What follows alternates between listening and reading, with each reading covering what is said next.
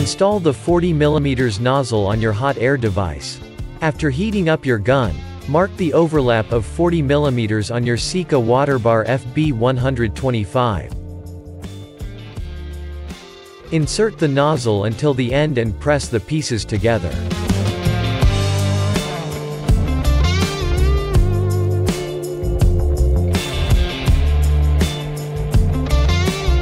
Apply a steady pressure over the whole width with the back of your index finger and fuse the melted material professionally.